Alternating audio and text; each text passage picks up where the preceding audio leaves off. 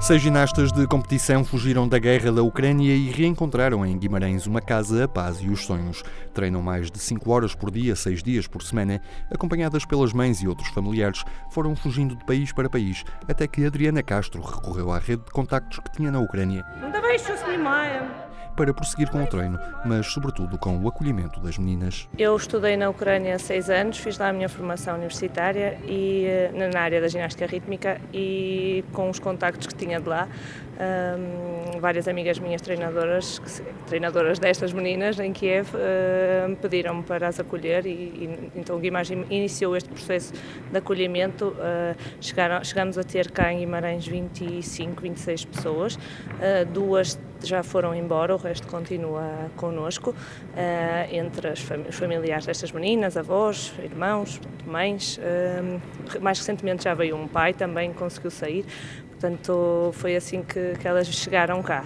A ginástica rítmica é um dos desportos nacionais da Ucrânia, assim que as atletas não perderam tempo em começar a competir. Elas mal chegaram, começaram a competir cá em Portugal uh, pelo Guimagim, foram ao Campeonato Nacional. Uh, uma delas venceu o Campeonato Nacional uh, Sénior, portanto não pôde receber a medalha, mas uh, foi ela que, que, que conseguiu a melhor classificação. O acolhimento das atletas foi só possível por vários apoios de particulares e empresas vimaranenses, mas sem esta treinadora experiente em russo e em ginástica rítmica, os treinos teriam de ser adiados, num desporto em que é essencial começar a praticar o mais cedo possível. O facto de eu falar russo também facilita muito a comunicação e o clube abriu as portas e elas estão alojadas em casas que nós arranjamos, portanto, sem pagarem a, renda, sem pagarem hum, água, luz, internet. Portanto, isso está tudo assegurado por pessoas que ajudaram o clube. Claro que não foi o clube que. O clube não tem essas, essas condições, mas uh, particulares e empresas que, que, nos ajudaram e que as acolheram. Eu própria também me disponibilizei logo, portanto, uh, não sabia que ia tomar estas proporções que tomou, mas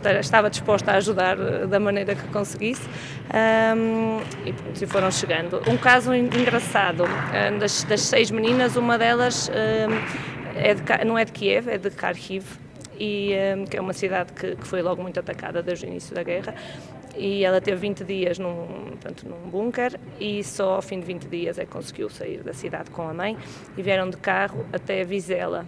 Está um grupo de futebolistas em Vizela, que ela conhecia, uma, uma amiga que veio com eles. Entretanto, eh, a Federação da Ucrânia criou uma base de dados e o Guimagim foi logo dos primeiros clubes a dizer que estava pronto para receber ginastas. E uh, quando elas chegaram a Vizela, foram à procura de clubes com ginástica rítmica aqui na zona e ligaram para o Guimagem. Portanto, dessa menina eu não conheço a treinadora, não foi diretamente comigo, mas essa base de dados ajudou a chegar a nós também. Adriana Castro revela ainda que há a possibilidade de algumas destas ginastas virem a competir por Portugal. Já está em curso o processo de naturalização da ginasta que venceu o Campeonato Nacional Sénior em julho do ano passado, mas que não pôde receber a medalha.